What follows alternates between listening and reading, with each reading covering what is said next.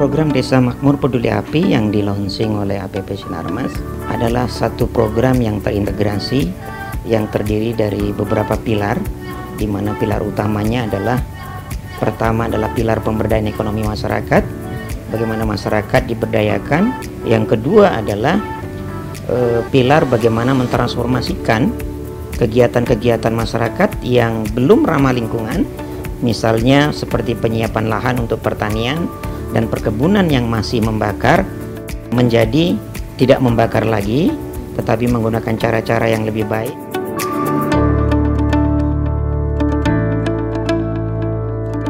Karena selama ini APP Sinarmas juga sudah melakukan banyak sekali program-programnya untuk masyarakat, terutama dalam hal ini adalah yang Desa Makmur Peduli Api, tetapi banyak menyentuh hanya kalangan petani, ya, kalangan laki-laki.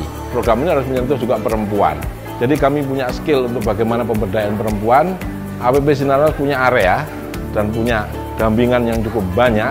Paling tidak eh, ada lima provinsi yang saat ini kita kita sasar, yakni Riau, Jambi, Sumatera Selatan, Kaltim, dan Kalbar.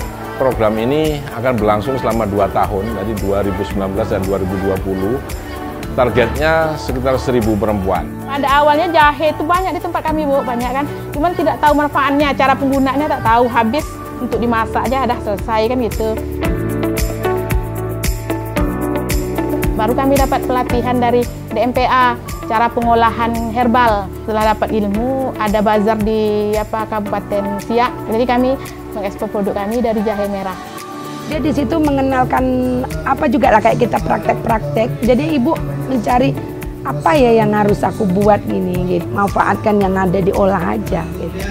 Jadi terjadilah jambu biji merah. Kalau DMPA kami udah dapat bantuannya semacam alat masak, alat packing, alat packing. Terus kami kemarin dibantu lagi mendesainer bungkus kemasan gitu seandainya ibu buat produk yang kayak gini pasti ke depannya mau ini bantu pemasaran apa-apa gitu sekarang insya Allah karena adanya itu ibu dapat bantuan. Kemarin kan menumal buatnya sama api aja.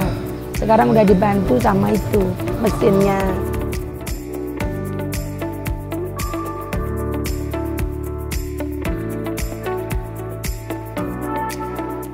Dari acara ini saya banyak sekali belajar gimana caranya merias wajah yang baik dan benar dan bagaimana supaya terlihat lebih cantik biar lebih bisa merawat diri.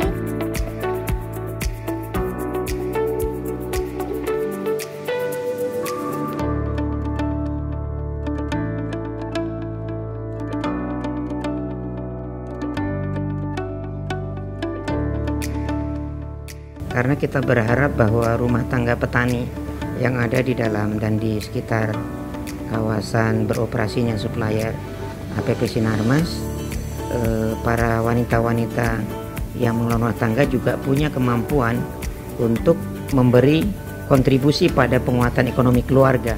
APP Sinarmas dan Marta Tilaan Group